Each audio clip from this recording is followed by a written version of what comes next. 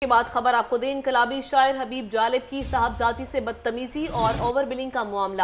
Chief executive LESCO نے XEN Iqbal town بشارت بشیر کو معطل کر دیا۔ اسی پر بات کریں گے نمائندہ لاہور نیوز، رانا فہد سے۔ رانا فہد، بتائیے گا۔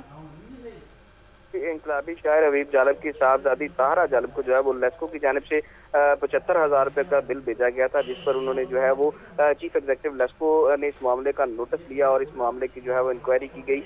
تاہم حبیب جالب کی صاحبزادی کا کہنا تھا کہ ایکسین اور دیگر عملے جو ہے، عملے نے جو ہے، وہ ان سے بدتمیزی بھی کیا ہے، جس پر secretary power domain Irfan Ali نے نوٹس لیا اور اس معاملے کی انکوائری کا حکم دیا انکوائری میں جو ہے، وہ یہ ثابت ہوا کہ ایکسین اقبال ٹاؤن کی جانب سے جو ہے، وہ ان کے ساتھ بدتمیزی کی گئی تھی۔ اس معاملے کا سخت نوٹس لیتے ہوئے چیف ایگزیکٹو لیسکو نے ایکسین بشارت بشیر اور ایس ڈی او جو ہے، وہ مصطفیٰ ٹاؤن کے ساتھ ساتھ ایک میٹر ریٹ کو بھی جو ہے، وہ مطل کر دیا۔ شکریہ رانا اپڈیٹ کر رہے تھے۔